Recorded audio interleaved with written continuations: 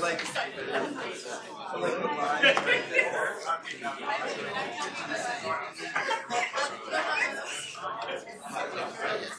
Here's another picture. Good. Excellent.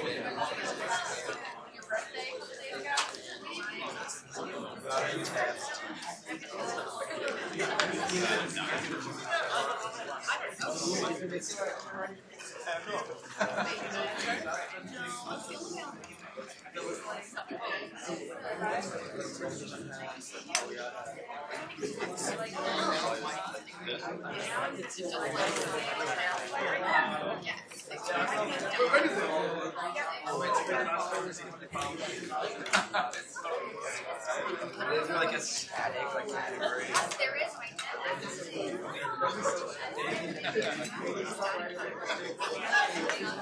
You might not. I got him up. See, look, I'm just practicing. Oh my god, I was Yeah, and then the kids would be like, "You're not my mom."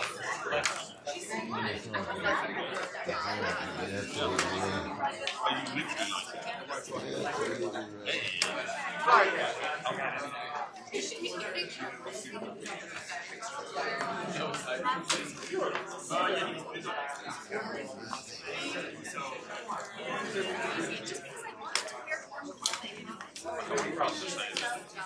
do they say on Don't, don't, don't. man, it's kind Yeah, that's a good way to do something. the time to go, I think we're ready here. Hard to believe this is the last class. This is one go. This is the last class. Yes, indeed, we're so sorry about that. Uh, we've had such a magnificent time together and with you. And you've heard conversations over the weeks. Hard to believe we go all the way back to the uh, meta-ethical discourse of the Academy and Emerson and company.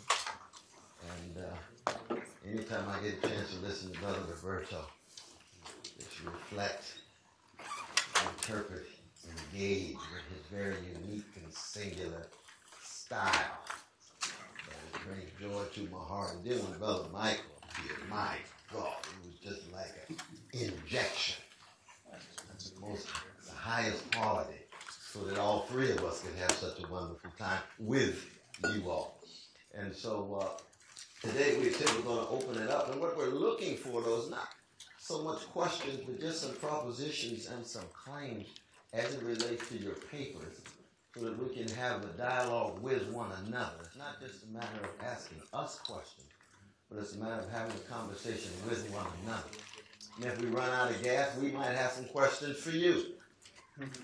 We just turn the tables, as. But the important thing is, is that we're trying to get you to cultivate your voice, to exercise your own creative imagination, and to take a risk. If this class is about anything, it's about intellectual, existential, moral, political transformation. It's about change, what Emerson called metamorphosis. And we hope that in some way this class is not just a class uh, on your uh, on your record, but an unsettling that could lead possibly to some change in your own life. In 5, 10, 15 years from now, you can go back and have to wrestle with some of the issues that we've been wrestling with in this class. And uh, in old age, you would have some precious memories of being unsettled at Harvard Law. Let's open it up. Do not hesitate. We want to hear from a variety of voices. Now, if, if you have not had a chance to raise your voice, you have first priority. Someone who hasn't had a chance to say a word, just with something on the inside. Please do not hesitate.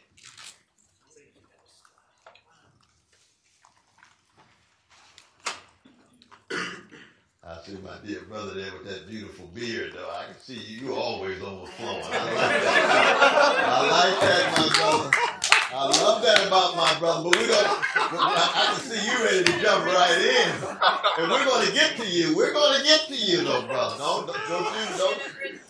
My ten questions and handed them out. Oh, oh, you got your ten questions already. I Oh, I, I love it. I love it. Always prepared. We love our brother's intellectual engagement. But it- but you but he- and I'm not going to exclude him in any way. But I know he's had some voices raised before. We'll start off with our dear sister in front.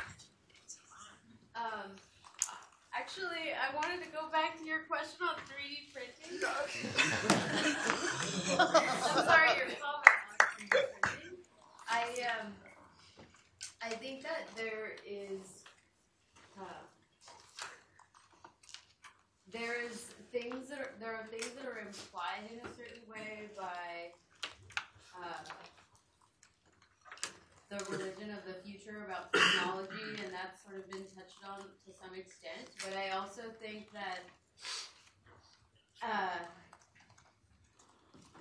there are things in neuroscience and AI that are really difficult for people not to constantly be thinking about in this day and age, especially like being around MIT and places like that and hearing about brain implants and things of that nature and also thinking about things like uh, I don't know, things that had happened in the past, um, eugenics and, and other things that have happened.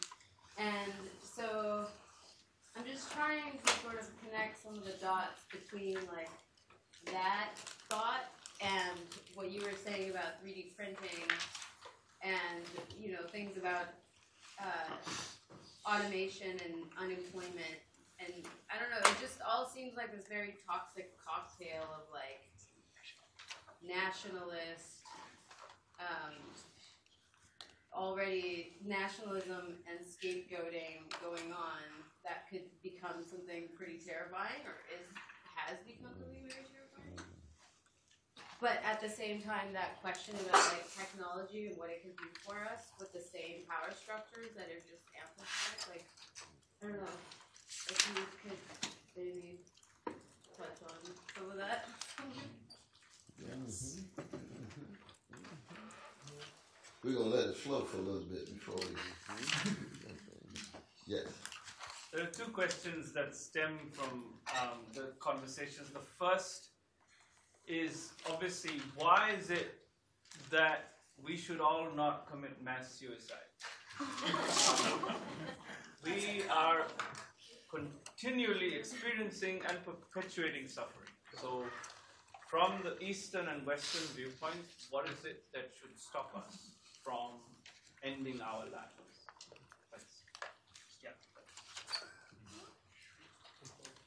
Now, is that a personal question? yes, definitely.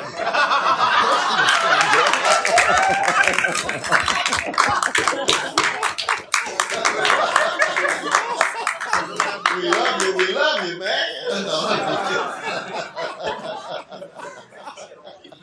but you had two questions, that was just one. No, we're good. Okay, that's okay. Yes. Well, um, I come from Peru. I'm uh, 70 years old, and uh, thanks to this class, I think I have understood my life, backwards, what I live. Um, I'm Catholic, almost everybody in, in my country, and I think you has you in this course have changed at least the way I understand my life, no? and have provided me. Uh, with the idea as to how I can live the next 20 years, maybe, of my life. My dad went over 100 lucid, my mom 96 lucid. So maybe if I got the genes, I have 20 more years to go, and the conduct of life is good. And my question, uh, I'm sorry I, I, I wasn't able to take these courses when I graduated the Harvard Law School here.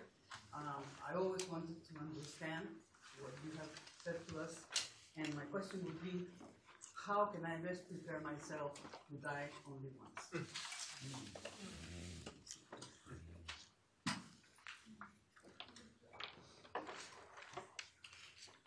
think I saw him, I did You know, right. this is this is kind of tied to this. I feel like uh, in recent years, we, we, we've been so involved with technology, you know, this rise of smartphones, the rise of computers, and portable, Yeah. portable technology. And now there's been a pushback you know, people are realizing that it's consuming their lives. It's uh, there's been a push back to living living your life. Um, the companies would want us to believe that the way to fix this is by buying another product and furthering this by you know either getting a jumper phone or a watch or something. I was wondering, what are your thoughts on how can we push back against that? Is there a way to shift that back, uh, or is it too late?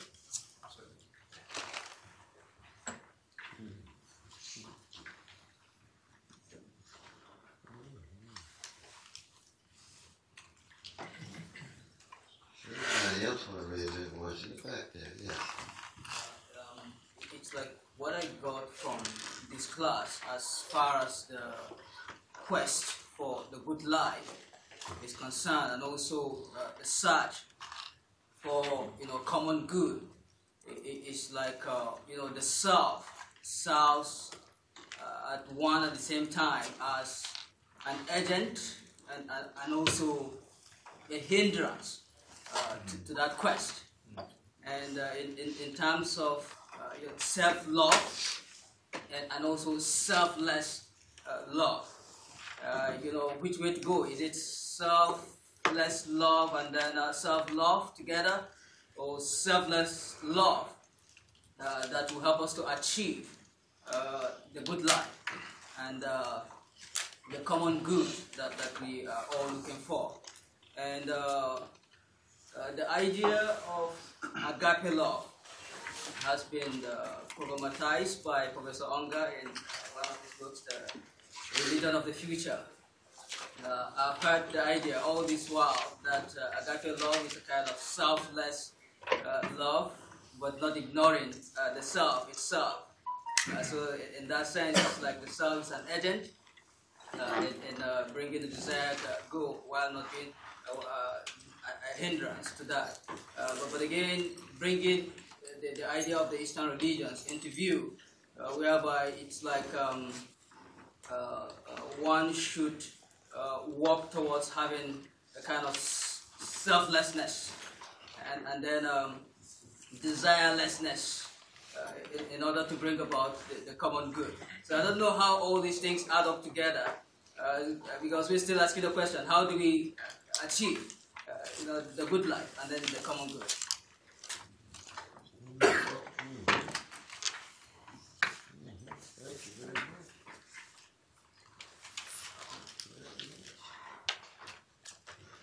Any other voices? Other voices, yes, I did. I was listening to a lecture a few days ago um, where a priest was citing Pope Francis, and he was talking about some of the special qualities of the Pope and how he looks at the world. First, from a standpoint of values. Um, secondly, very outwardly focused.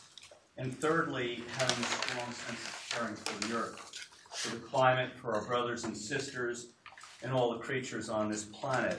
And I, I, I walked away feeling better, more optimistic uh, about this. And, and I'm wondering, in, in, in your views, how does this kind of vision square with the kinds of things that we've been talking about in each of these lectures on the conduct of life? Uh, Professor, um, how do we engage with the idea of catastrophic trauma, uh, especially when you are not cognizant that this could be a trauma? Especially uh, when people are working in social justice movement and those kind of activities that brings into private space, so there is no difference between public and private. How do we embrace pain?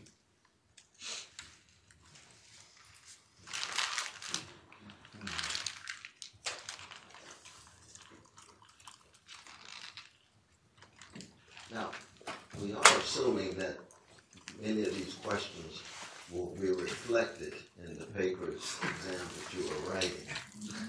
So that you are wrestling with these. You would say some of these points are directed to yourselves in terms of your fifteen pages. Is that a fair assumption? I hope it is. So, uh, the title of my paper is If Jesus were an activist in the United States, he would have been beaten, jailed, or killed by them. And um, in drawing parallels between the life of Jesus and how he was uh, treated by the nation state, um, who coordinated with political and economic elites. Um, when I parallel that to activist movements here in the United States, whether uh, they be uh, labor movements, uh, racial justice movements, um, or uh, movements that fight against uh, xenophobia in the form of the Trump era right now. Um, one one constant theme I see between uh, Jesus's life and the life of activists here in the United States is that uh, they're willing to sacrifice themselves, um, and in order in, in doing that, um, they oftentimes concede their job prospects, um, their popularity, and you know their health, and and in some cases throughout our country's history, uh, their lives. Um, so I, I just wanted to uh, know what sort of emphasis uh, you three would, would place on uh, the concept of sacrificing oneself for the betterment of society, because I, I think that's just so overbearing in the grand scheme of things.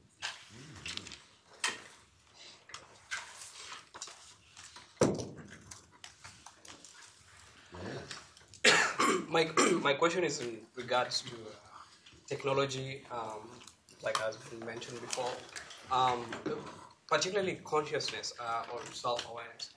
Uh, if, for instance, we, we we want to make like a self-aware machine, like an AI, which is very uh, sentient, you know, conscious as we are, um, th- then my, my question would be is in terms of what whether, whether or not happiness for such a such a being would be the same as way we envision happiness, whether even happiness will be a thing, whether love will be a thing. Because I think most of our desires, like the same way that Freud says, you know, they, they're only just uh, a reflection of some psychological thing that's going going on, you know. Um, and mostly the way consciousness goes out of like human beings uh, through evolution through a process of like you know, suffering to some degree. And the same way that when you suffer more, you become more and more conscious, you know. But for such a being, like the, the question of suffering will not be there because it just came to be. So whether or not the things that we find particularly important to us, like happiness, whether or not there will be the same, there will even be a need for such a being. Sure.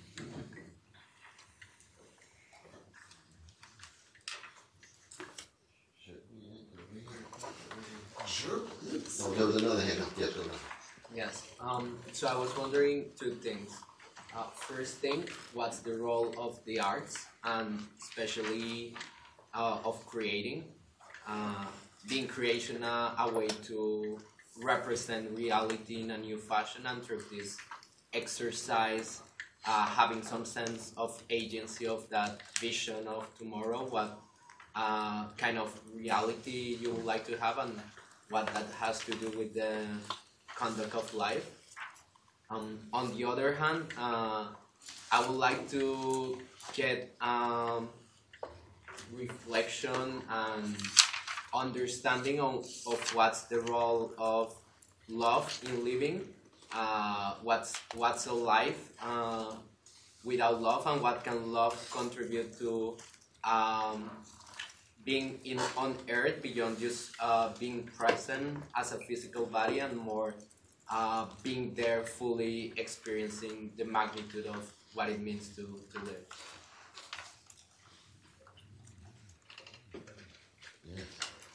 So thank you very much for an amazing course. I learned a lot uh, this past few months. Um, so I'm thinking about the society in the U.S. I come from Iran. I came as a refugee five years ago, as a Baha'i refugee from Iran, and I studied law not at Harvard Law School, in an underground university in Iran because Baha'is are not allowed to go to universities, to official universities in Iran. But then I was pondering on the life in the US and the society here. And something that really bothered me was like simple issues like um, universal health care or single payer, like a system that provides health care to everyone. And what I'm trying to figure out is why is it hard as a society that we decide on some goals and just achieve that? Why is it hard to convince everyone that oh maybe there is a way out? Like why why is it hard that like even watching different TV stations, it's like different realities and people are exposed to these different realities. Whereas one person can I was like these past two weeks I've been trying to find good arguments against single um, payer health system, healthcare system and universal health coverage. And it's very hard to find arguments against against it. And and the ones that are are very easily like uh, one person can easily answer them and showing also it's like empirical data they work. But still the majority of the US don't um, believe in a universal health care coverage or a single payer health system. So that's been very baffling to me and as a person that's been advocating for years and years, I'm really interested to see what you recommend and why is it this way. But also, like, I love, love this country. I'm becoming a U.S. citizen tomorrow. I'm very grateful. It, it comes from a place of love. It doesn't come from a place of sin. Um, I, I will say again that I think it is uh, unfortunate that we're not looking at African civilization. I think on the question of technology, uh, His Emperor Majesty Haile Selassie of Ethiopia wrote extensively around the use of technology and the betterment of mankind. I think that Africa, long before this time, was already concerned with global sustainability. We were living in mud houses and grass. So I do think that there's an opportunity to look into some of these questions that we're asking from an African perspective.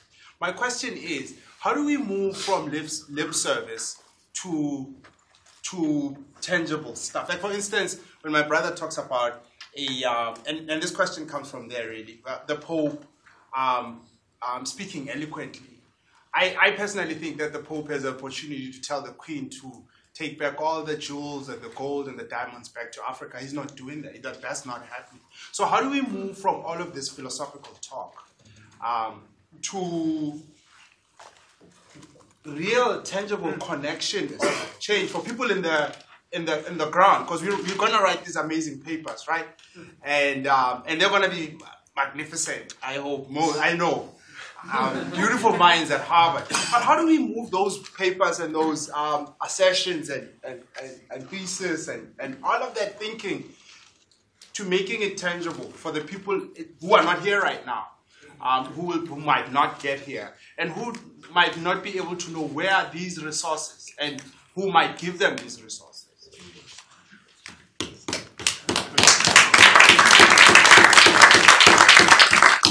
I'll tell you why I'm asking that question because I feel like the, the, the people who control these resources, you train them. Mm. So in some ways, you have the ability to access our conscience. And in some ways, you have the ability to turn that conscience to make us sit in a place where I don't want with my water bottle because of that kind of training. So how do I then get out of this place where I'm, I am being trained in some ways to hog my resources, not to hog now, beautiful brother, brother with a wonderful beard. You come around. but, but raise your voice so we can all hear it. okay? has perpetuated the 3D printing. And now I'm just gonna add one more thing. This gentleman here has the point that I've been struggling with for the last five years in this kind of metaphysical environment. And the answer is, what motivates people is profit, is money. Oh, fancy words and philosophy, you know, you can buy the book, read it, very interesting, very entertaining. But the bottom line, if you wanna change somebody's direction, you gotta pay them. Now, that's my challenge. Mm. I disagree. Oh, now we got some disagreement, but there's two hands. Yeah, the, something that I've been thinking about that's similar to Brother Botana over here is, especially when we look at like folks like Schopenhauer, or even the great world renunciating folks from the East. Um, I'm curious, like how these this sort of transcendental, existential depictions of suffering and you know pessimism that start, to become divorced from the con- their content. So you have like people talking about these human things, but not really talking about the specific things that maybe even give rise to the question. And, but how do we appraise what they have to say in light of um, contextual situations, and how do we make sense of? Are we ignoring um, certain people's agency and accountability by like painting with a broad stroke that like all the suffering in the world is coming from people's wills getting tangled with each other? Um, and how can we look at what they're saying and make it more applicable to um, specific situations and make it less just like a theory? Mm-hmm. Sister to that. Somewhere along the same line, are there things you, the three of you try to do every day or every Mm. week or every year that help you stay aligned with values or with this vision of the good life? Hmm. Or more concretely, for yourself, whether it's on a weekly or monthly basis? Mm-hmm. Mm-hmm. I want to say, like, the people in this room obviously are like committed to the goals of this course, and as you said, Professor Puett, breaking our, radically breaking our assumptions in- of the world. Alhamdulillah, like, good, good-hearted people in this room. The only issue is, what about those people that don't want to do that? Hmm. You know, and the history of the world is, you know, the subjugation of people by other people, and it's lovely, Professor. I'm going to go out there with the idea of love to others, but I think you were right to mention vulnerability because that leaves us vulnerable to those people that only want to subjugate other people and will therefore not break their assumptions about the world, even if they know them to be untrue, will hold firm to their own first order moral projects to gain power over others.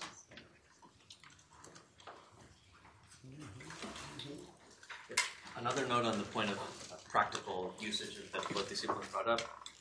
If we if we want to build followings around our revolutionary projects, but we also want to avoid patterns, and people tend to fall into patterns. How do we build followings that avoid patterns? How do we build followings that people can people can be a part of, be engaged with, be excited by, but not then fall into their usual way of just doing what I say is like the right thing to do.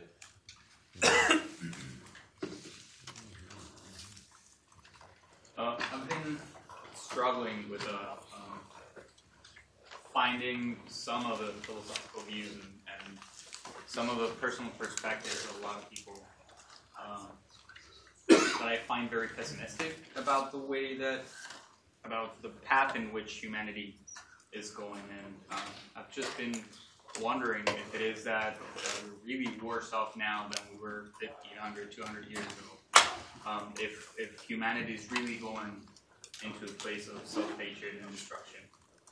Or if it's just that we're barely learning to understand a lot of new uh, problems that have just been uh, arising or shown light on, and that we are just trying to figure out the, the path to solve them. So I guess my, my question to all this is, are we really doing that bad?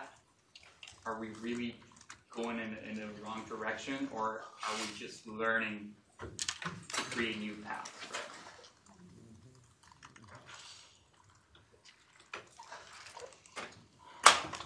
I mean, I guess just in response to that, like, who, who is this we?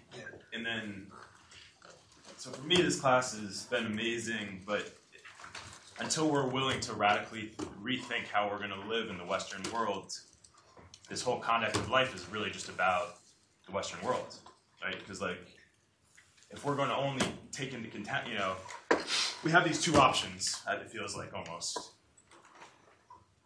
to, to try to live this altruistic life or to live this selfish life.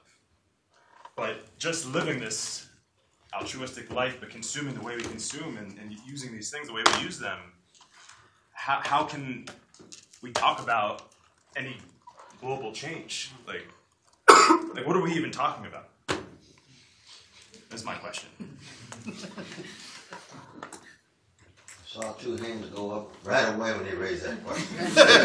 what are we really talking about? two dear sisters, go right ahead. So I, I wonder along those lines as well. Um, the idea if we're going to take a to sort of build a fundamental philosophy of Western foundation, can we do that on the basis of four fundamental flaws? I wonder if we can, if is it possible to build an understanding of human flourishing on flaws. And, and I think for me, I think very much the same way. Um, but I've been thinking along the lines of what is our nature that will allow us to flourish? So, what can we cultivate um, inside ourselves in, in order to flourish? And for me, I've been thinking a lot about our linguistic nature and how the you and the I tie us together, and how that could be fundamentally that's what makes us human, um, and that's what draws us together. Right? You can't really have a you without an I, and I um, without a you, and that can be sort of the foundation of our of our love um, and our belonging. The idea of belittlement, I wonder, and shame is very much tied to our need for the other, um, and that um, when we don't have the other, because the other is so fundamental to us and to our being, that we're very easily shamed when we don't have the recognition, the acknowledgement of the other. And on the other hand, when we do have that recognition, when we are acknowledged, when we are working in community, we flourish. I mean, I see that. And for those that, answered Brother's question over here about what to do practically, I would say work in practice. Take this deep into practice, um, these ideas that we have. Take them not to corporate law, but take them, you know, into the, into the courtroom as a public defender if you're at the law school and work with those who are suffering um, and who are at the margins, right? But in terms of going back to a fundamental idea of what is our fundamental nature and thinking about it in relation of what do we need to flourish, not what are our flaws, but what allows us to flourish. And then we can start thinking about our path dependence. Is we why fight against our path dependence? Is there a way, just hypothetically, to um, to think about cultivating the path dependence in some way that leads to a deeper relationality, to a love, to the things that make us flourish. So I just I just throw that that question out around cultivating from a from thinking about our fundamental nature in a way that's that is not about a flaw, but it's about something that leads to deep flourishing. And I think there are many models um, in society. The church, when it works properly, being one where we see uh, a deep, effective flourishing and something that allows people to shift out of their need for power.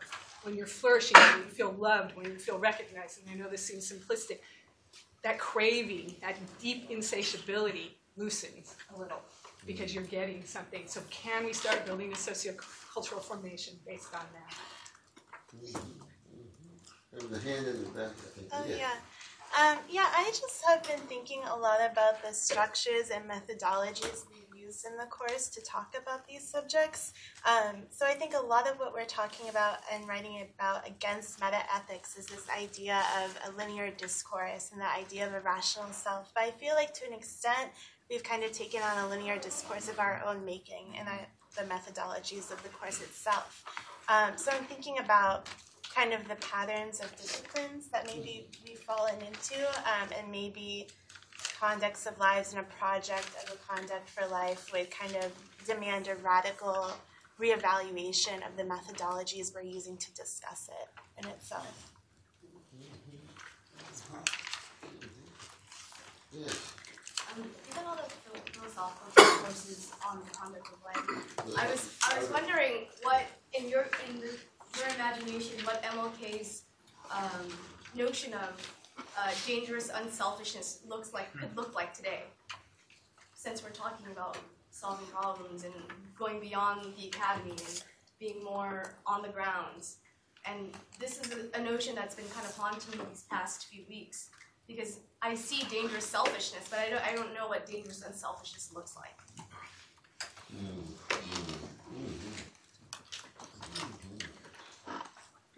Maybe we should put kind of a few words, but we've got.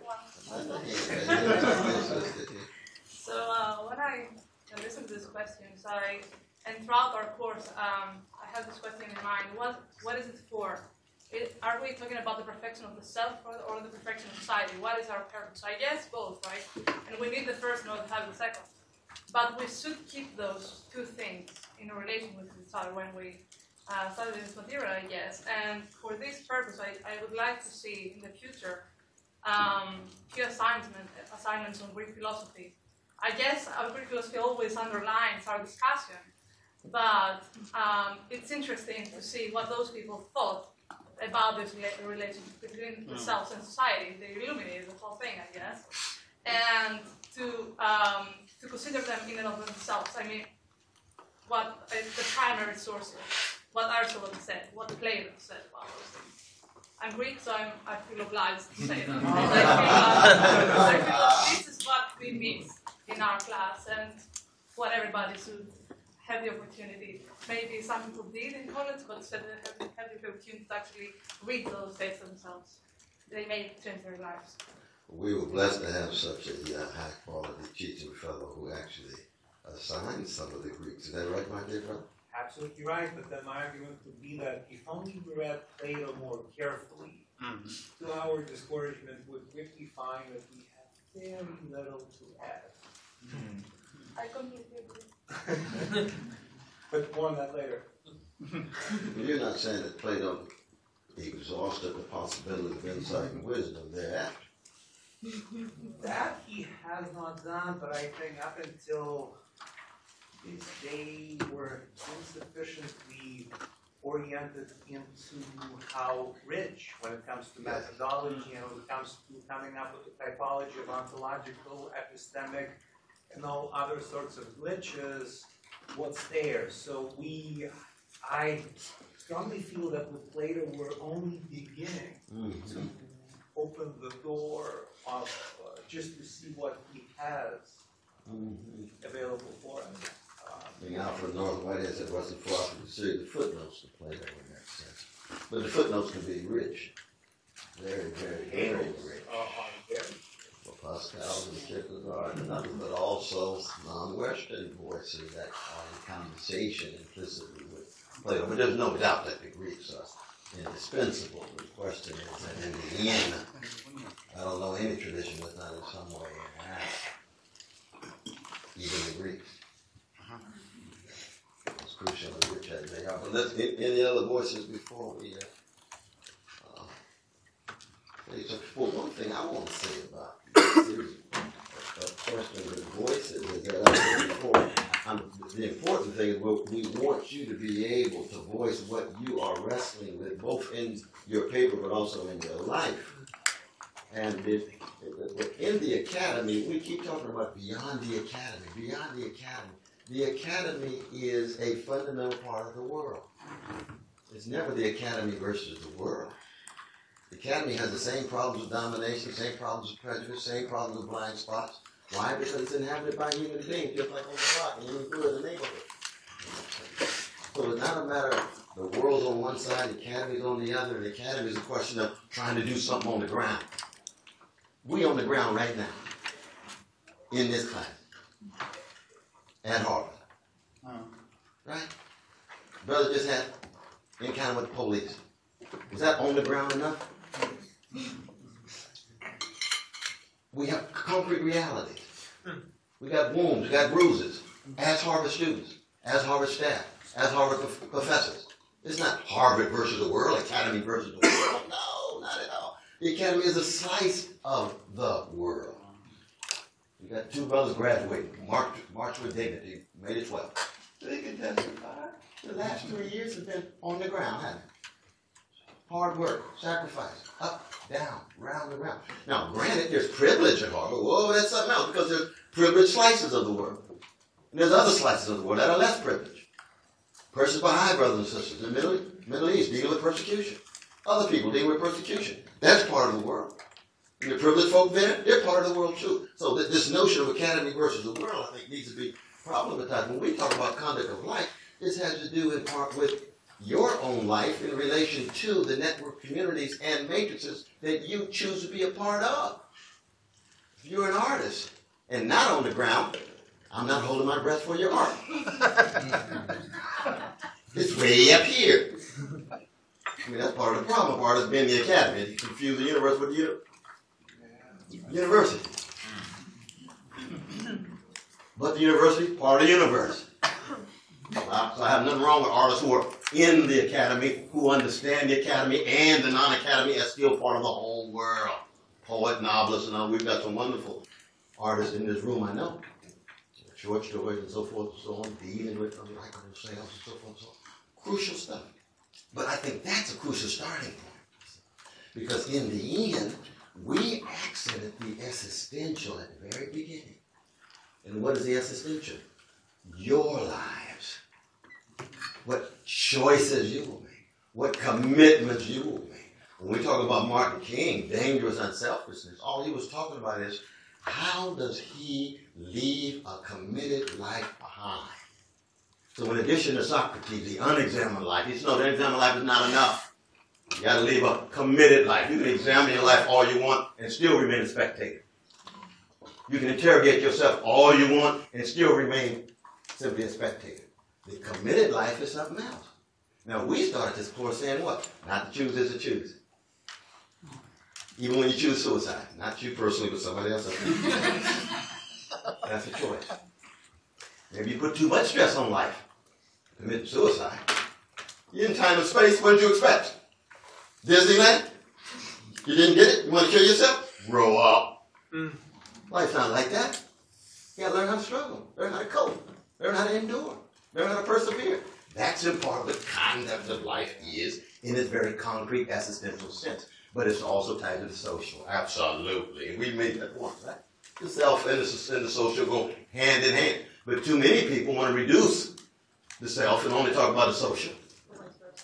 Hmm? Or vice versa. Or exactly. And in America, it's more likely the self, self, self, self. Because society is just a place where I become successful and achieve the American dream. As if there's no structures of domination. As if there's no institutional practice that demonize and devalue and dishonor and so on.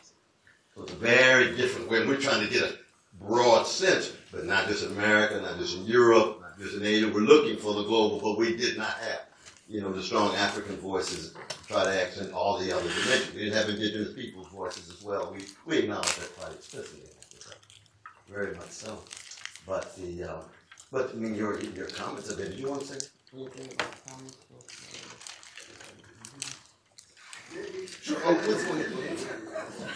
I- I'll say a few very quick words, but let me also say, all of you feel free to respond to these questions. Yeah, Don't feel that you must ask questions and we respond, I mean, feel free to engage as well. So with that vein, I'll only touch on a, a few key themes, and let me begin with suicide. Um, no, I, it's a good question, and, and, picking up on some of the themes from both Buddhist and Chinese traditions, I would say, um, a- as a fact that despite the way we perceive the world, act in the world, understand the world, everything is absolutely interconnected. When there is, and I mean it's an empirical fact, horrific suffering in the world, the truth is we are in part responsible. We have both created that suffering, we are actively in the ways we are living our lives, allowing that suffering to continue. And suicide in the sense of, oh, I'm suffering, I want to escape, that escape, number one, is an incredibly selfish act to take. And number two, will not actually help anything because, in fact, by definition, that is going to create horrible suffering from those around you. And picking up again on the themes worked out in very different ways in Buddhist and Confucian traditions, but they would very much agree in the ultimate implication, um, it doesn't work anyway because all the suffering we're creating doesn't end I personally leave hmm. because it continues. Hmm. Either in one sense, because the reincarnate, because the aggregates of suffering I've created will be reincarnated, or in another sense, the patterns I've created will just go on through generations. But however one wants to frame it, the fact is we are part and parcel of creating horrible suffering around us, and simply trying to escape that will simply continue that suffering. In fact, make it much worse. So put that way, we must take responsibility for what we are doing in creating the suffering us and helping it to continue.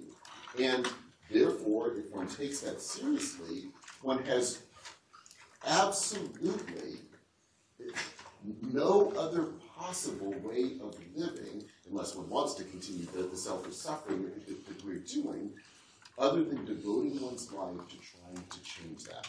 And that touches on so many of the questions. So I'll simply speak very briefly. Um, what that is going to mean in any given context is going to be absolutely undecidable. Um, I very much agree if it's spoken of simply in the abstract, oh, you know, life is suffering, that will accomplish nothing. I fully agree. It's all about concretely, from a very local level, how are little things I'm doing in the world, from the way I, yes, live my life and the kind of power structures that allow that life to continue to the ways I speak in terms of voices of different people, to the very structures of power that my way of life continues. At every level, from the seemingly very personal to the overtly extremely social, I am part and parcel of creating a world of suffering.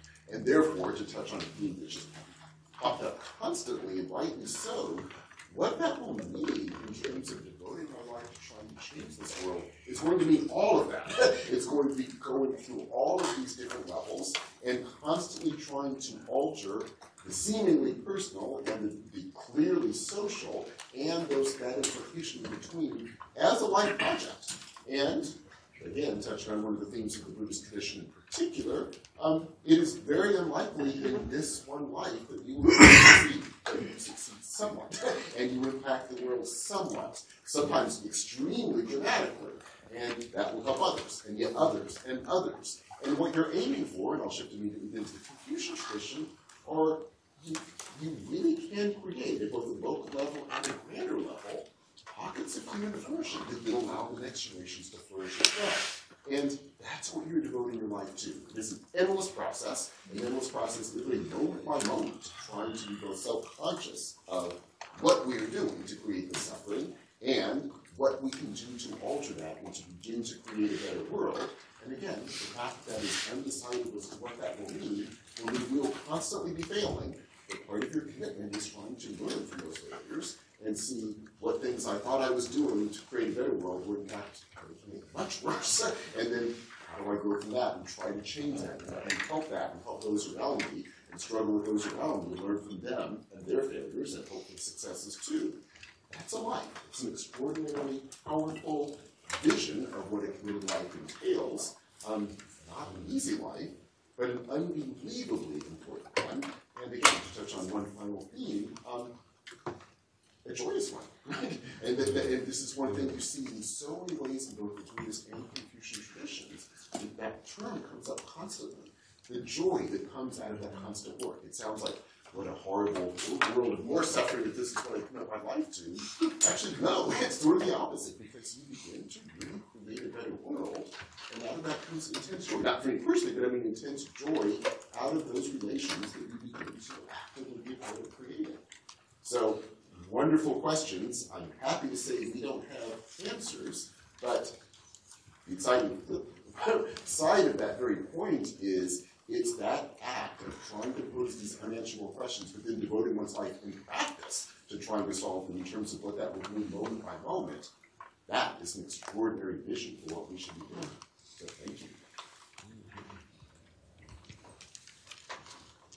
So I think um, of Michael Cornel, uh, uh, what I could do, just by way of uh, contributing to this conversation, is uh, to answer these questions not by providing answers, but simply by uh, reminding you of some of the concerns and attitudes of, uh, that have marked the arguments of the course.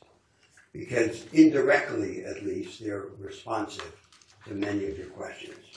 So, the first thing to say is that we can't proceed on the assumption that we know what to do and that our problems are problems of implementation, problems resulting from the, the distance between our ideas about what to do and the organization of the world, uh, as if it were simply a matter of implementation. Uh, the starting point of the course is the the, the claim, the assumption that we don't know what to do, and that we're confused, and that we're confused in our basic ideas uh, about the organization of society, and very especially with respect to the themes of this course, the conduct of life. Uh, and uh, we have to choose. Theme that we've kept re- returning to. We have to choose. We never have conclusive arguments for the direction to which we commit ourselves, but we do have grounds, incomplete grounds, in, inconclusive grounds. And there's an enormous distance between thinking that we have no grounds and believing that we can aspire to these incomplete and inconclusive. This small area of light. Now, then comes the second question uh, posed by, by one of the very first provocations today. What leads us to live, to want to live? What is the antidote to suicide? Now, uh, there have been two main families of conceptions of, of happiness or of the good. One is the minimalist conception that happiness is simply privation of suffering. And it seems that that view, or that family of views, could never be an adequate response to your question. Because suffering is perpetual, and we can mitigate it, but we cannot stop it. Uh, and that then leads us to the other family of views that the only adequate antidote uh, to the temptation to kill ourselves is some experience of being that once we have it, we find irresistible. And that then leads to this notion that the experience of being is not a single thing, it's not univocal, but that it's capable of growing, of being magnified, uh, of becoming bigger, and becoming bigger in a way that is not isolating, but that is shared. And that it is then, on that family of views, it's that bigness that then is the sole adequate antidote to suicide. And it's a different view of happiness. So it's a view of happiness that is compatible with contradiction, with disharmony, with incompleteness, and therefore with suffering, uh, which, which is perennial.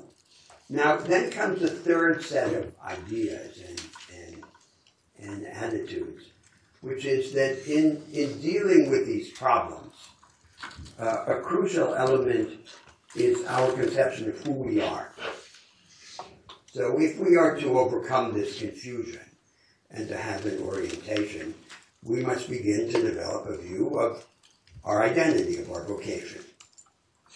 And there are many ways in which such a view can be developed, but your own questions today, the questions about technology, suggest that one of the many ways to develop a view of who we are is to, is to say in what respect we are not machines or not like machines. So, uh, the machine is the embodiment of uh, a formula or an algorithm. Uh, it's what we've learned how to repeat. It's what the machine is. And then we could say, well, there's maybe a second step in the development of technology beyond these algorithmic or formulaic machines, which are what you could call problem solving machines. They resolve practical problems like uh, how to drive a car without a human driver, or even more simple things, how to open a doorknob. And they may not be reducible to a formula or an algorithm, but they do exclude something still, the second level of technology, that has to do with our identity. And what they exclude is the imagination. So we have this characteristic that we are capable of experiencing things and discovering things that are not countenanced by our established methods and presuppositions. We discover and then retrospectively we develop the methods and assumptions that make sense of what we have discovered. So that's just one aspect of a more general feature of our humanity, which in the arguments of this course I call our transcendence. uh, we're shaped by context, by a particular social and cultural world, but there's always more in us than there is in that world.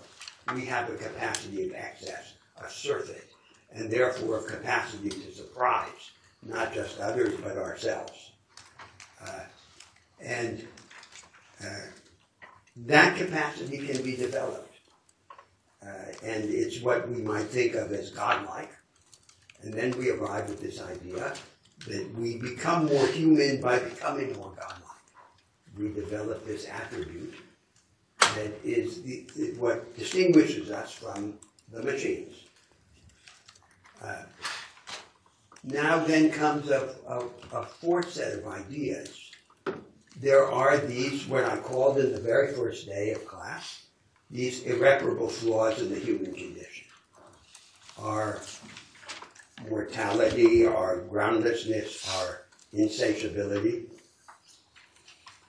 Everything that surrounds us is finite, it's limited.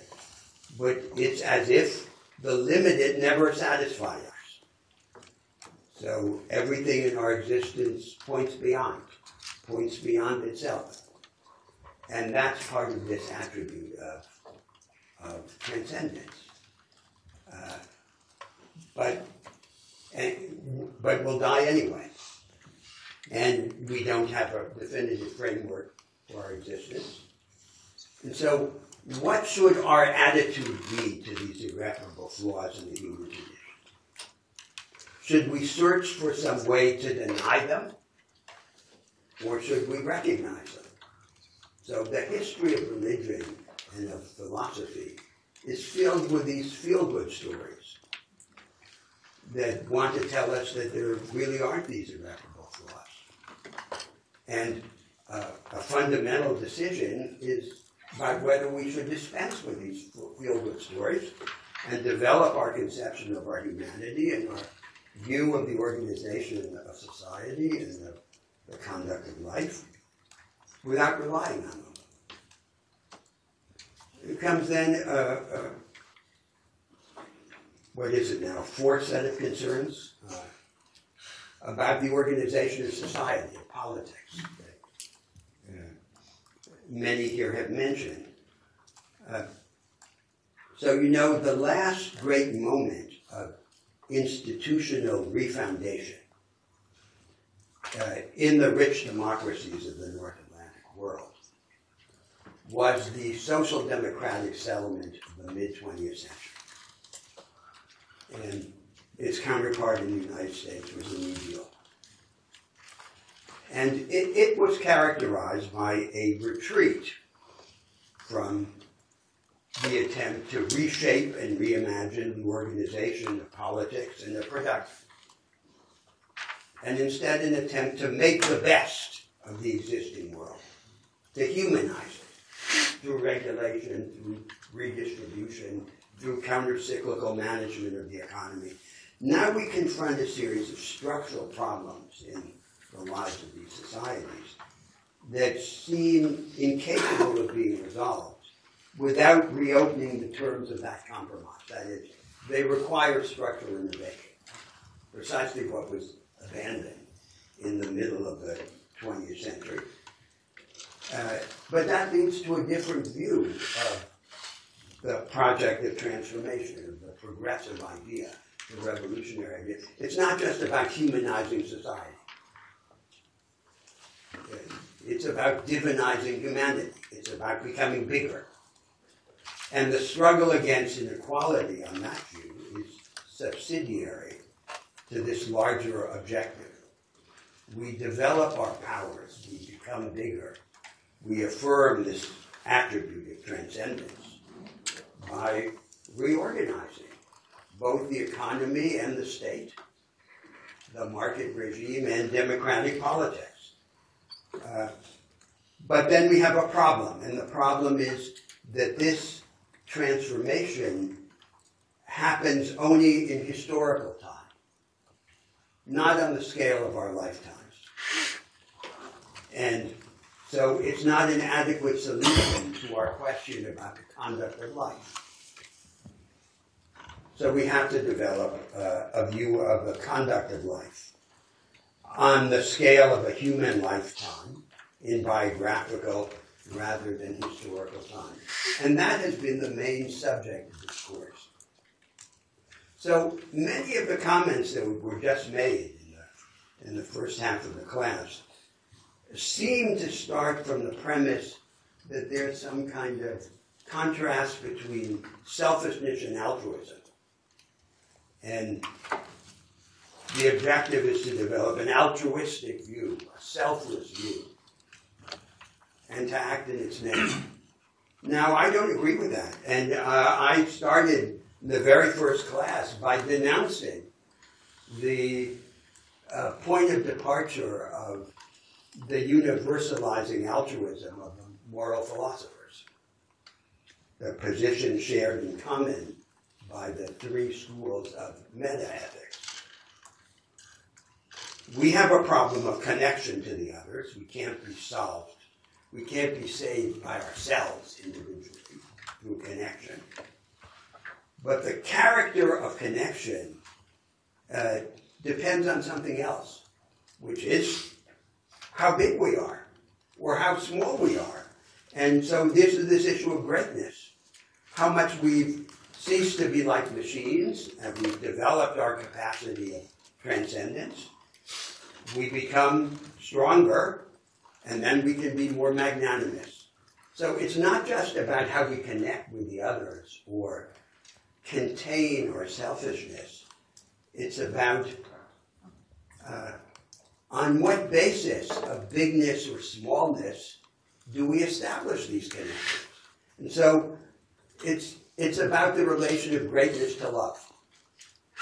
Uh, and uh, uh that's a fundamental theme. And, and, and then it seems, then, this is another point of departure of course, that the models that we have available to us in our culture, in our civilization, how to live, and in, this, and in particular, the two most tangible and influential models, which are Christian charity and romantic adventurism, seem insufficient uh, against the background of these concerns and ideas, so that we have to develop a program. Now, finally, let me say, let me again return to, to a claim I made in the very first class that at least helps explain uh, my own interventions here. So my view is that we live in a counter-revolutionary interlude in a long revolutionary period in the history of humanity a revolutionary period that has extended for the last two or three hundred years.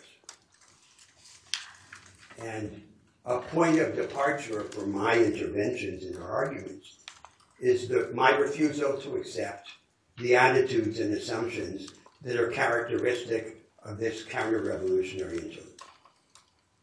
So there is a revolutionary project. It has two sides. The political side is carried by the doctrines of democracy, liberalism, and socialism. Uh, and the personalist side, the moral side, is carried above all by the worldwide popular romantic culture, as in popular music or the soap operas. And it has a message. The message is that we're not as small as we seem to be. And the message resonates in every Brazilian slum, in every Indian village. This message is carried throughout the world. So this is the revolutionary project. And it has enemies. So it's not, uh, it, it, it's not as if it has obvious authority there are, there are arguments in its favor, but it is in a struggle. And it has been, in a sense, the dominant agenda, uh, the strongest agenda in the world, because all the other agendas in the world respond to it. But it's paradoxically at the same time now in this counter-revolutionary interlude weak. The reason why it's weak is that its adepts no longer know what its next step should be. And if we don't know what the next steps of the project are, the project weakens. This is the problem. It's a problem on the political side and on the moral side. So for this revolution to continue in the next phase of the life of humanity, and for it to be susceptible to translation into an idea about how we should live our lives, we have to know what its next step should be. We have to reinvent it. Because if we don't reinvent it, it dies. So paradoxically, we have to let go of it to make it live. And this is always the paradox in, in, in human life. We have to renounce uh, in order to recover. Uh, and this then is the whole uh, inspiration of, of the arguments of the course. So I think that's really very different from the idea the assumption that we know what to do, uh, and it's some kind of altruism or social solidarity. Unfortunately, the world is very unjust, and we're very selfish, and so forth. No, it's not like that at all on this view. It's, it's a different set of problems requiring the development of ideas that we don't yet have. So it raises questions of what the sources of the counter-revolution are. And it raises questions about why it is that the fundamental issues of death and life tend to be pushed to the margins as opposed to just money, fun, and instant gratification and ephemeral pleasures.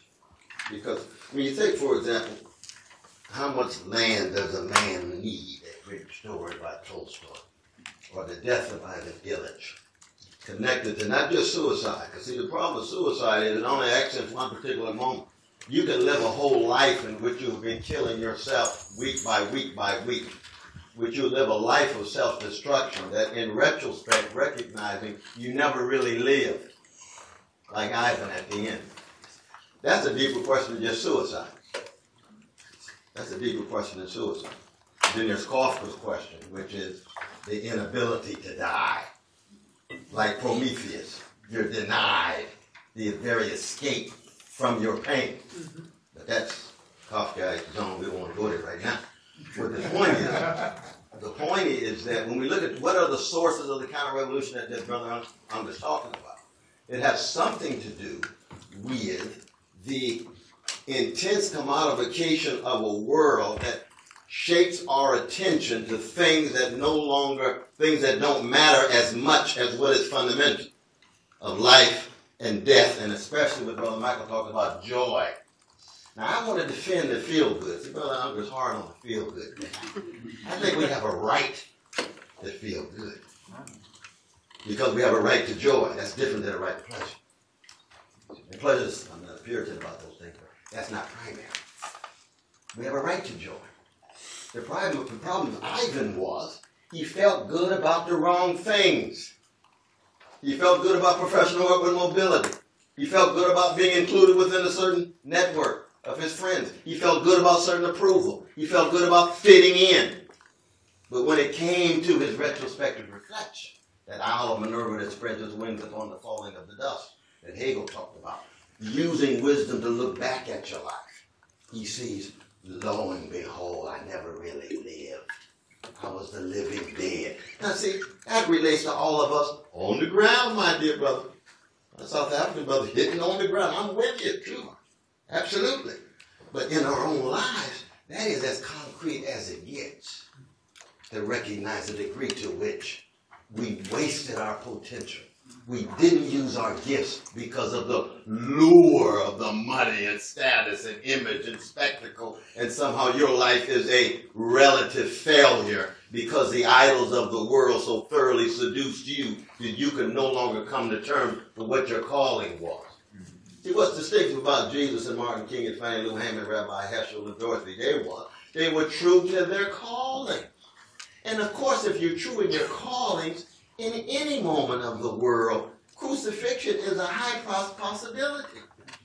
So, character assassination, literal assassination. So, I would want to argue that there are conditions under which the feeling good, we ask ourselves, We feel good about reading. We feel good about writing. We feel good about trying to be a force for good, but it's not the feel good that Earl I was talking about in terms of the, The denial. denial of death and so forth and so on.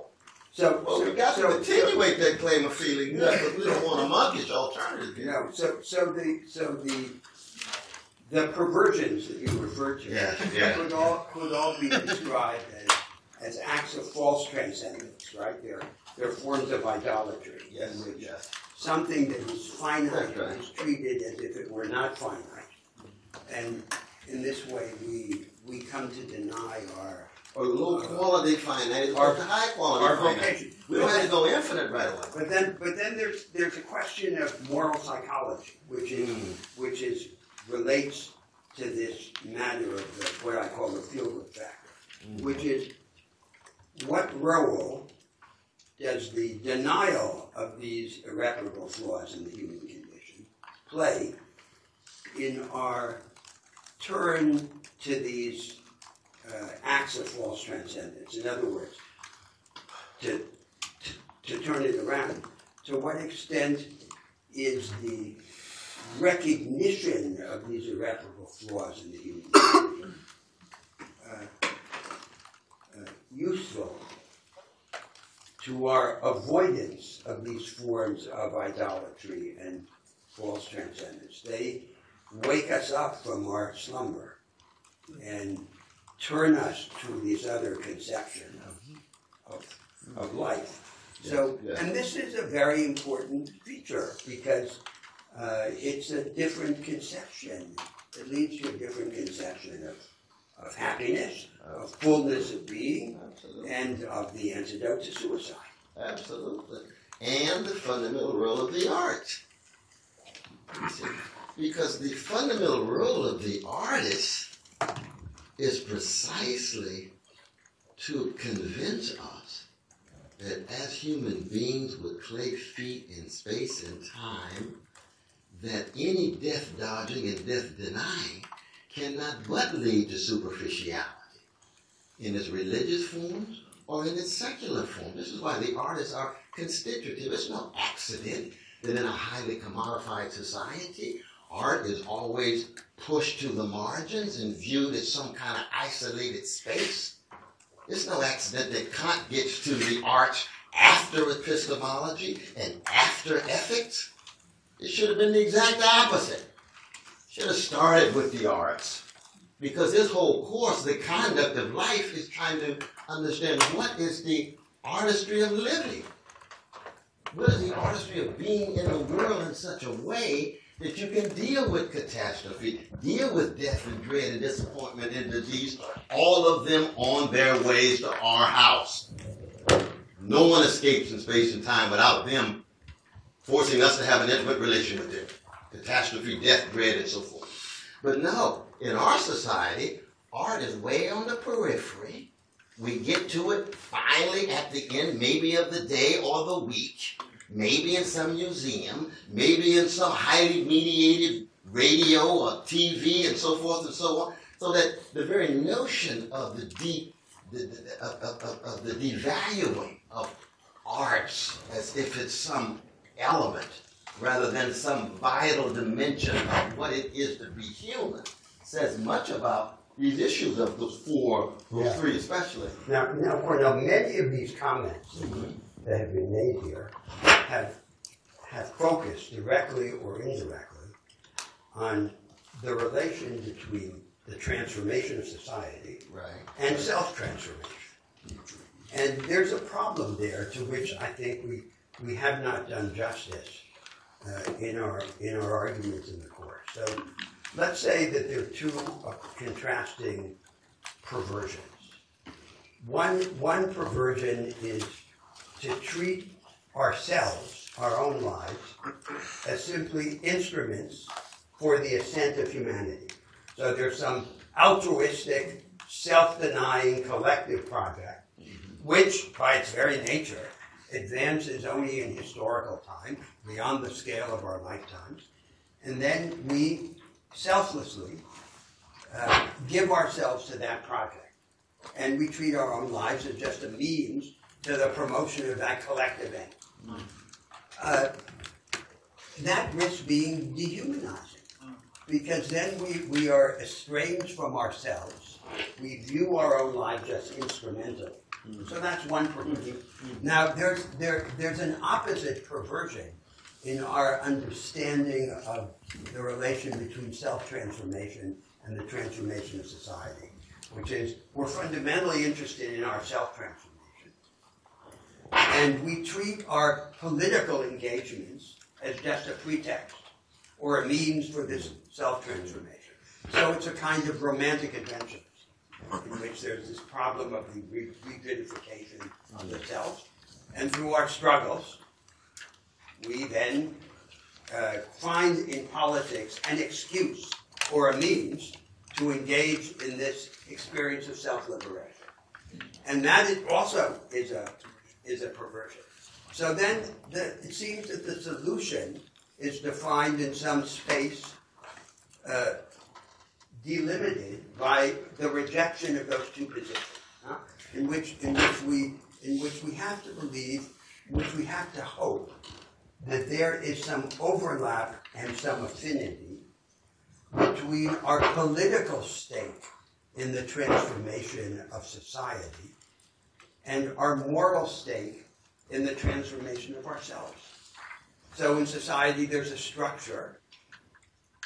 The development, the advancement of our interests and ideals always depends on some transformation of this structure, on institutional innovation, which is, in, re, in historical reality, almost always fragmentary. It's not these big systemic substitutions as described by Karl Marx and his followers. Uh, but we have a similar problem in our lives, which is this problem that I've called mummification. We, we a carapace of routine and compromise begins to form around us, and then we begin to die these many small deaths. And our interest is to die only once, to maintain and to develop the supreme good of life until we die all at once. Uh, and so then it seems that the rebellion against structure is useful in making us effective agents in the transformation of society. Uh, but the transformation of society is not just a pretext to change ourselves. There's this, structural this structural similarity between the political problem and the moral problem. And they overlap and reinforce each other. That's what we could hope for. But we actually don't have that doctrine. So that's an example of a set of ideas that would go beyond those two tangible images of Christian charity or romantic adventurism. And we need that. So we need we need inst- institutional projects that go beyond institutionally conservative social democracy, and we need moral ideas that go beyond Christian charity and romantic adventures. And to my mind, that that has been the agenda of the course, uh, and uh, it's it it, it it it it highlights the the point with which I began in my remarks just now, which is our our confusion.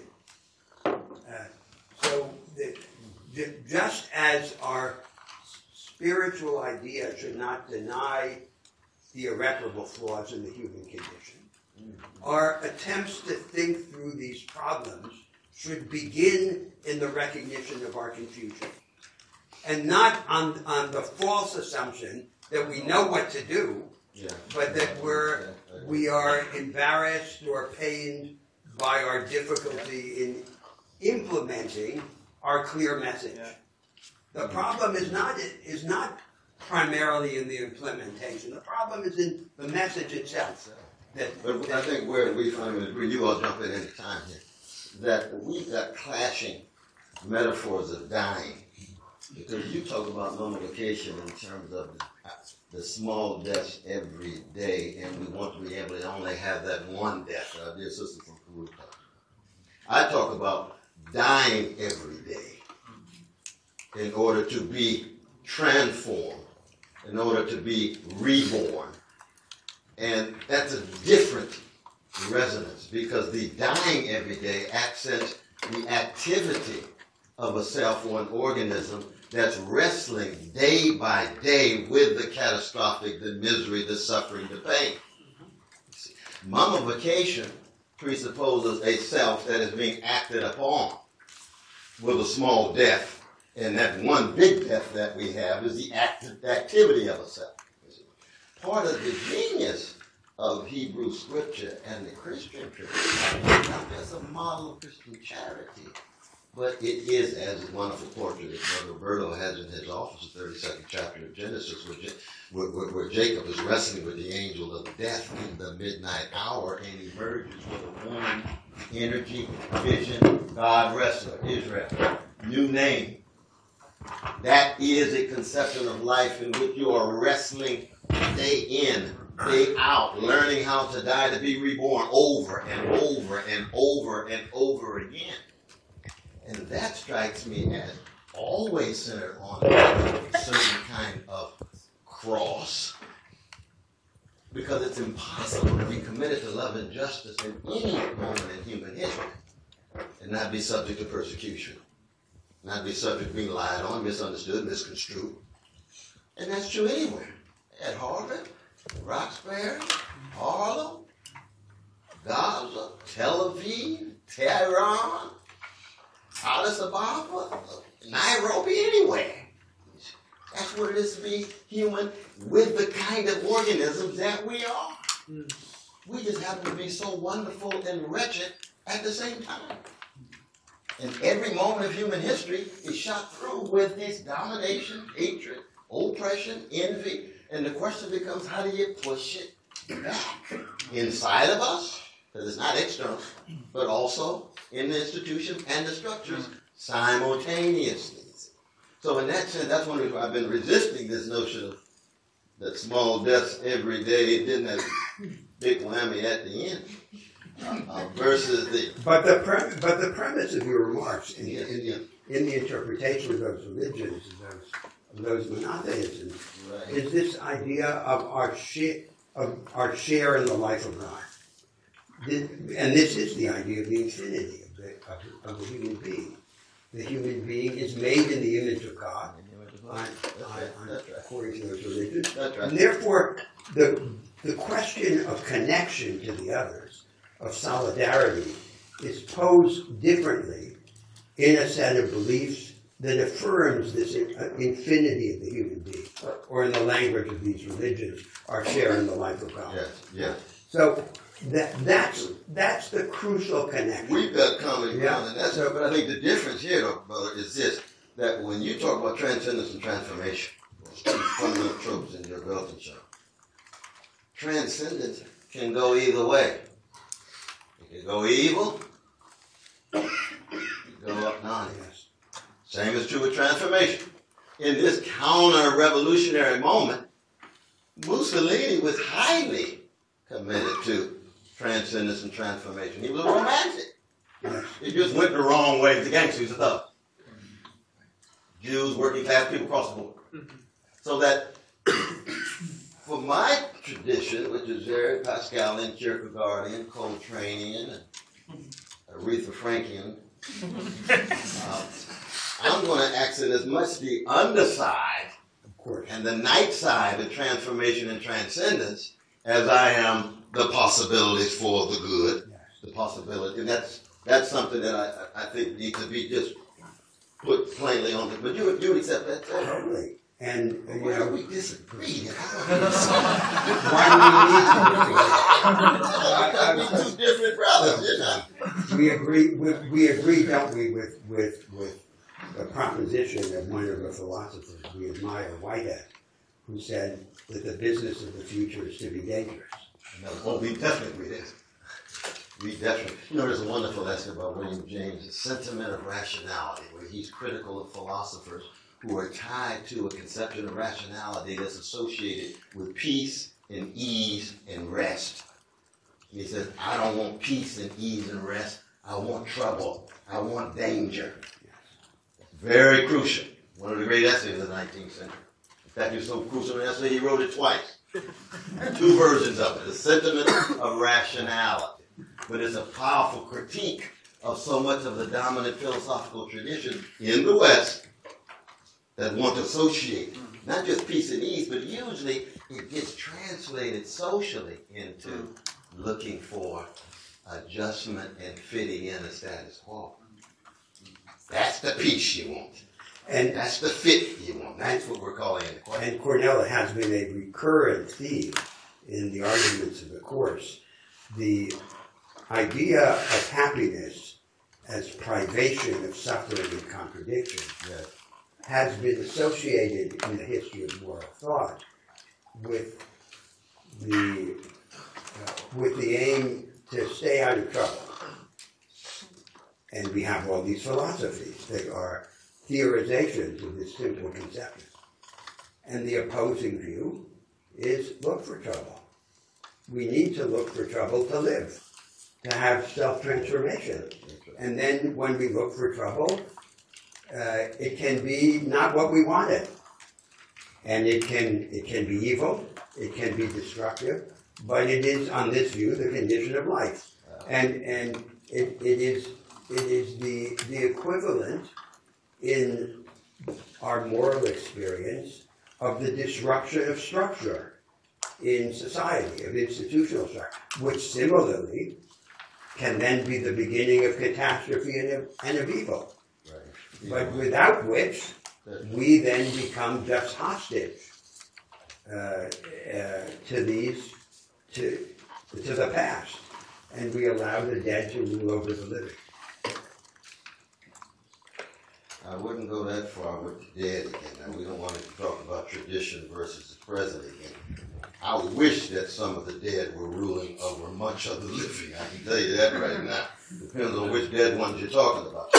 But I'll say this: that when Mr. Frankenstein wade in the water, God's going to trouble the water. You're going to find power in the water because that in that trouble is a possibility of both transformation of evil as well as for good. Or in Hebrew scripture, when it says God has God's way in the whirlwind and the storm. That's Nahum, the minor prophet.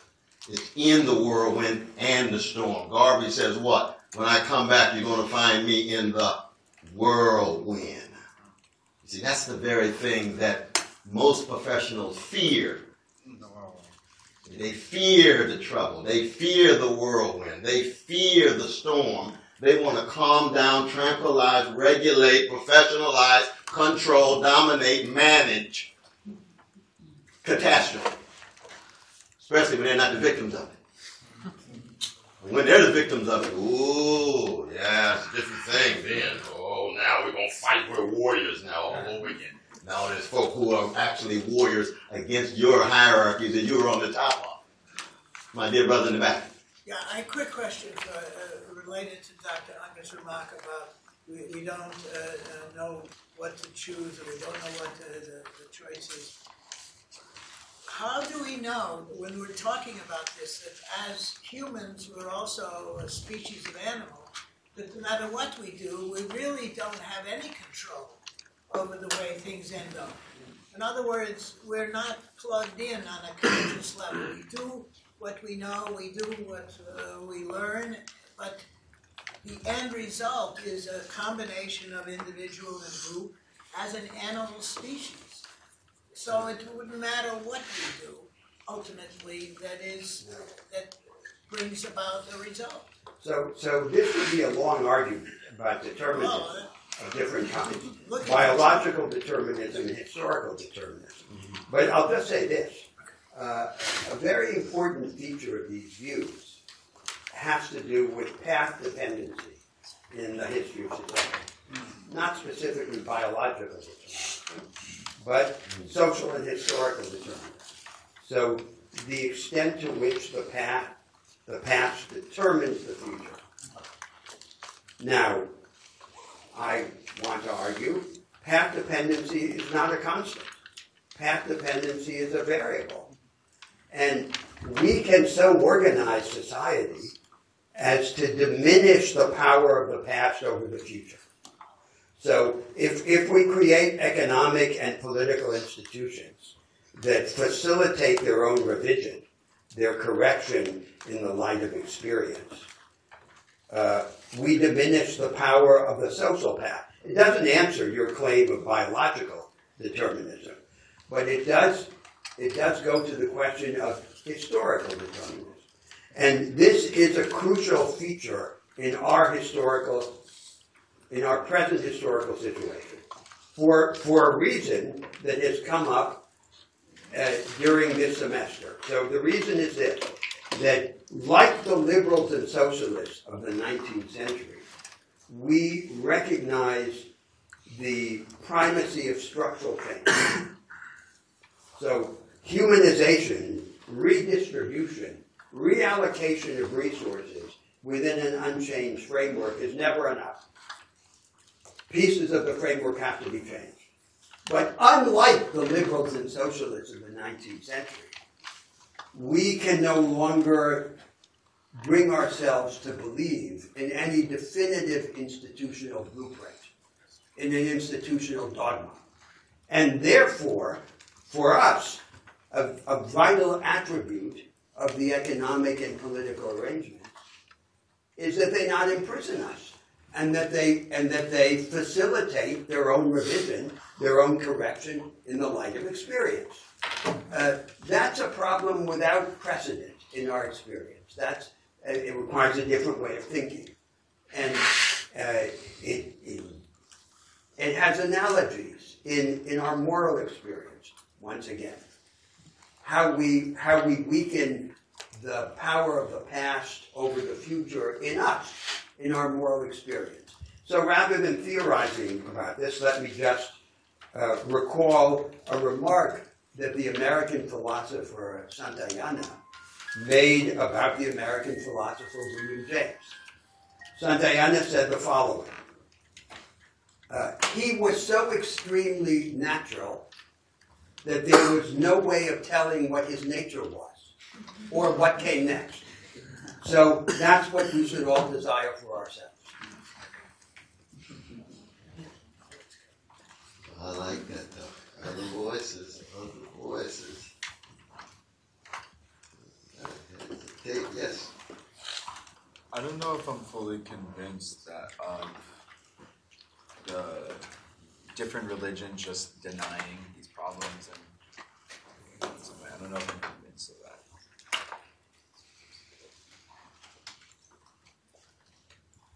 The different religions, what? Or, or denying death, you mean? Um, yeah, I mean, I can't quote you, Professor Unger, uh, clearly, but you said a number of times. Um, No, no, I didn't mean, no, no. I was speaking about the Semitic monotheists. Because remember, here there are different orientations to life if we examine. So the, the, the Near Eastern salvation religions, the Semitic monotheisms, Judaism, Christianity, and Islam, uh, do, do, do, in a way, they do deny uh, they, they, these, what I'm calling these irreparable flaws in the human condition. Uh, and they say that there's a solution to them. Now, if we turn to, to Buddhism and the religion of the Vedas, ancient India, uh, those spiritual orientations don't deny those irreparable flaws in the same way or to the same extent. Because they say this everything changes into everything else. Distinction is superficial. The real is unified being, which is ultimately timeless. That's not a denial of death. That's a statement that death is not what it seems to be. Then we come to Confucianism, for example, which in a way is an anti-metaphysical metaphysic. It says that in a cosmos that's indifferent to us, we open a small world of meaning. But it doesn't deny uh, mortality or groundlessness or even insatiability. It has a practical solution to it, which is our engagement with the others in a certain way.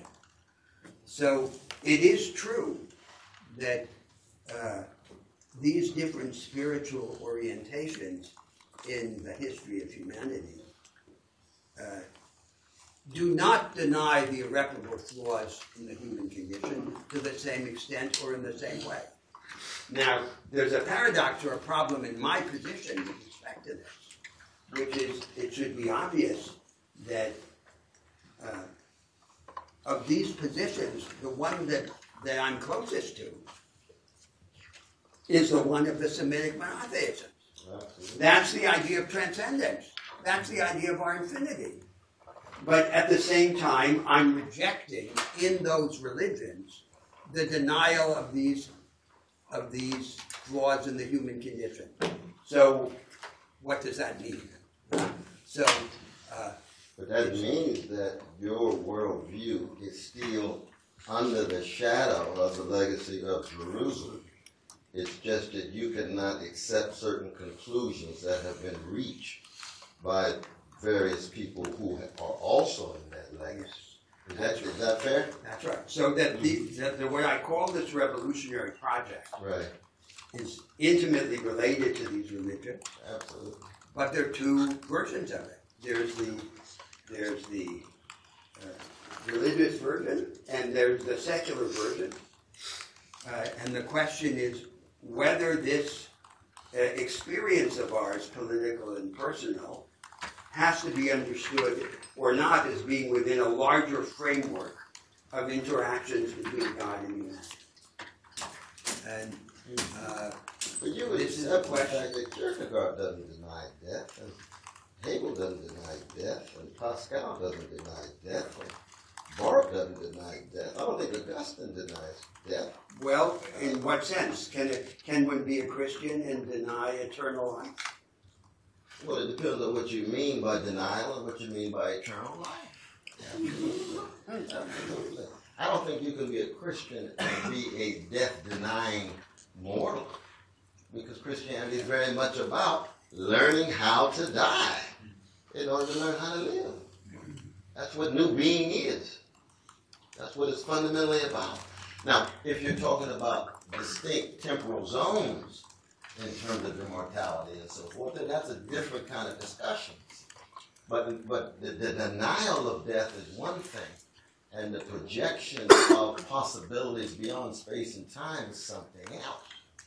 If you're saying, well, any claim of life beyond space and time is itself a species of the denial of death. If you if that's the claim, then I can understand. Well, but what I'm saying, what I'm saying is that the claim of the eternity, the immortality of the human being, the soul, is not a metaphor. Uh, it's uh, you know, there's now there's now in the world this attempt to split the difference between believing and not believing, and the practical result of it is the sentimental will to believe. And the sentimental will to believe in practice always, almost always ends up being a way of dressing up the political and moral pieties of the day. So we don't need religion for that.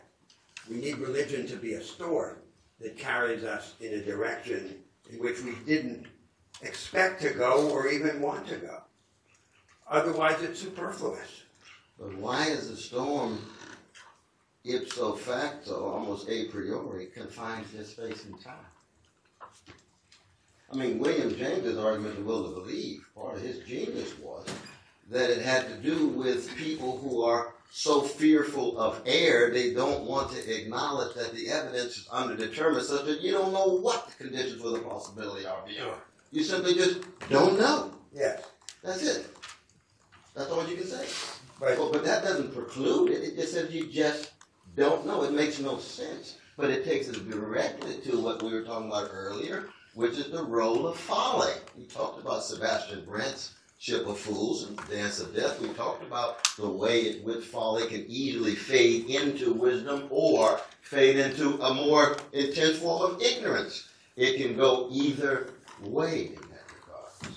And if that's the case, then I think we might have to be a bit more charitable or open minded about what is the fundamental core of Judaism, and I don't think Judaism denies that at all, which is choose life in the consciousness of potency in the consciousness of impotence, in the consciousness of wrestling with evil and the consciousness of wrestling with good. You're choosing life.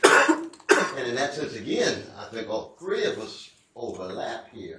But I'm just, I'm just want to be clear about what we mean by denial of death.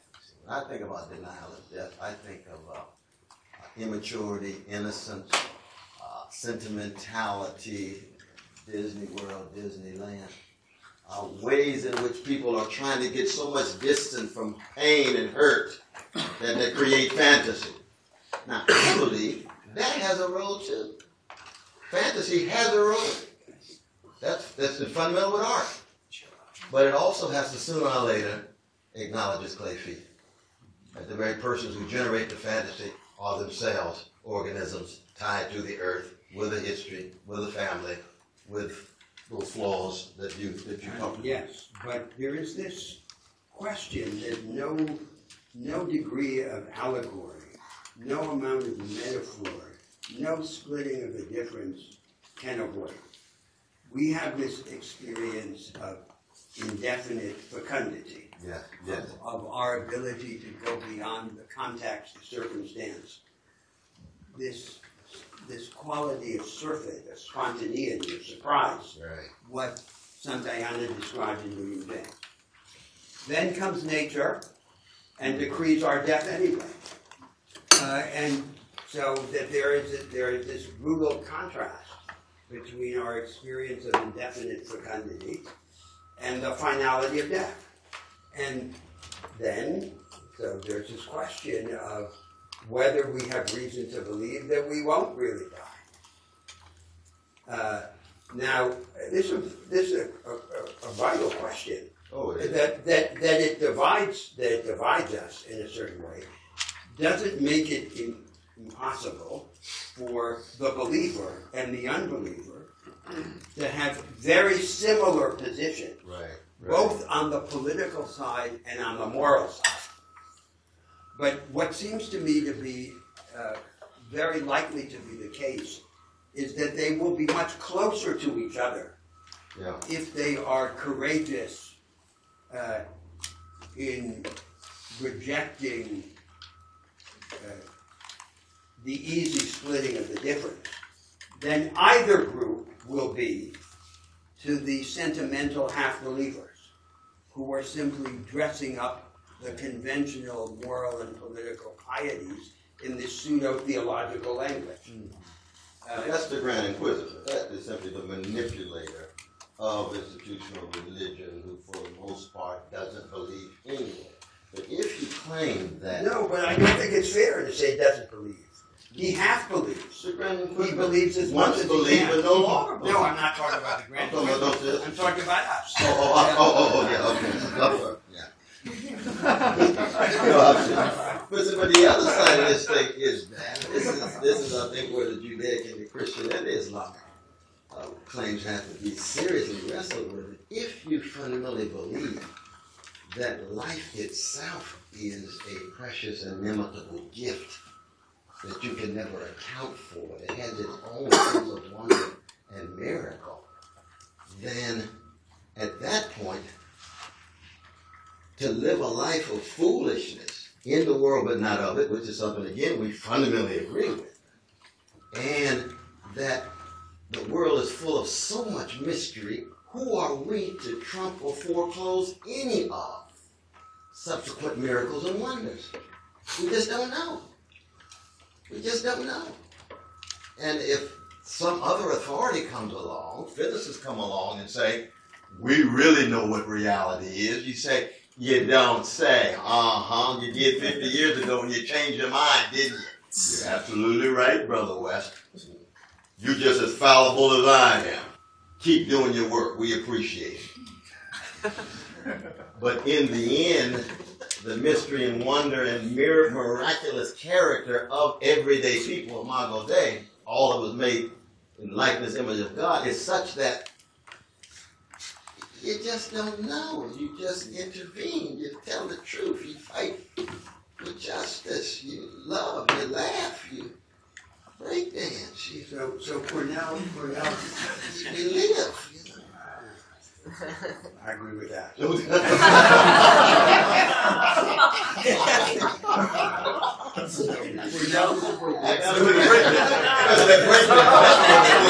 But, but, but if, if, if, if Christianity, if, I'm sorry, uh, Professor, if Christianity as a tradition insists on um, going out into the world Yeah. and making Christians of everyone, that is not a claim of not knowing. That is a claim of knowing and actually Yeah. moving people to. And now this is where this is where I think I agree with you, Professor Unger, in that I find that the tradition of Christ, the inability for the tradition of Christianity to um, move for contemplative practices like traditions from the East Yes, yes. touches on the idea of not wanting to um, even think about death. The idea that uh, I don't have to die because Christ has died for me. And my and therefore my my death at that point is not mine, it belongs to the body. And and I think that's where the uh, traditions from the East have something to teach us because then they say, no, you sin, think about your death and how you might even want to die and how how resurrecting your the Buddha within you, and I might be speaking that bad, but resurrecting the Buddha within you is about self um, self initiating and um, and uh, taking responsibility of oneself of oneself side by side the dogma, which I feel on on on, the Christian side, coming from Africa, and and thinking of what uh, Du Bois said that that um, Africa made Christianity the religion of the world. However, um, the the extortion that followed that has nothing to do with the love and the making of, of Christians all over the world. or, or that brotherly love, or the communion, or, or, the, or being or belonging to a God. We could, we could go on forever, but look at this. On, on, So, uh, You know, it's, uh, All the way our around. time is up, and, uh, it has been followed, it will always be followed, to try and discuss these problems in the form of a course. But, uh, one of our favorite poets, Jimmy Blake, Yes. wrote, if the fool would persist in his folly, he would become wise. Thank you all so much. Thank you.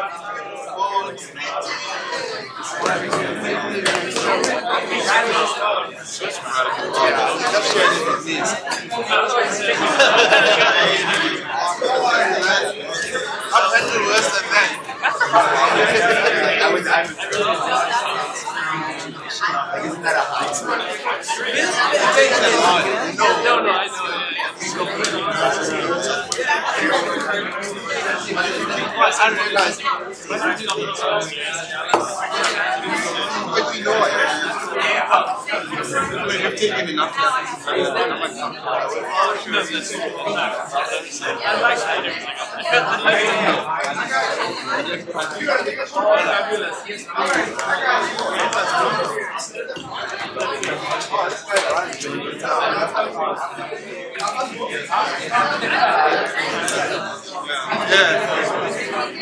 Yeah, yes.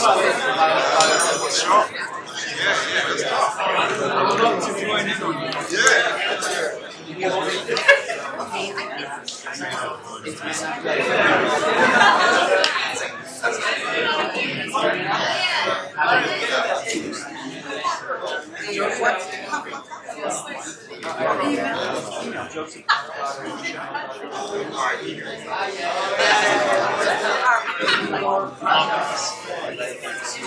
may have been the next two hours. No, so send me, send me something. Let's make time. Just just me one. I feel like you know you're make time. Time. I know I still. What do you? What do you? Uh,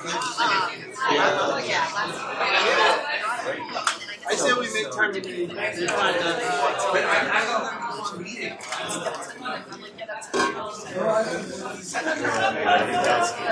I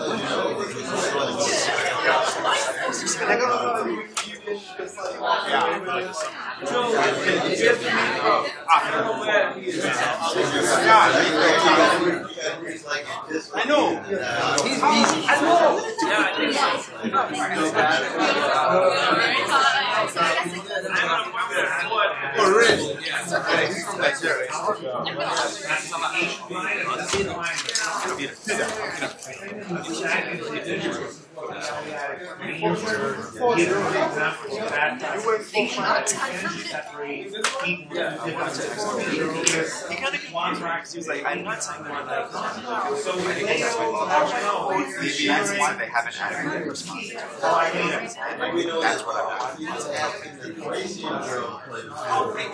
Can you notice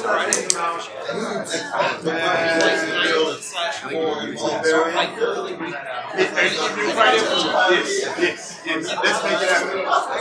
But I don't want no restaurant. You know, I'm just stupid.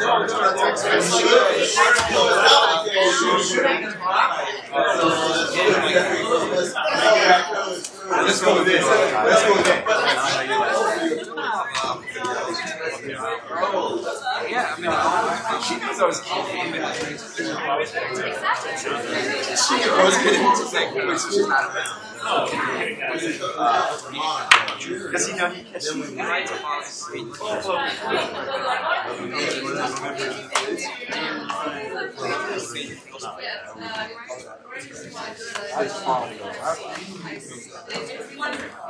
what is Even that would be nice.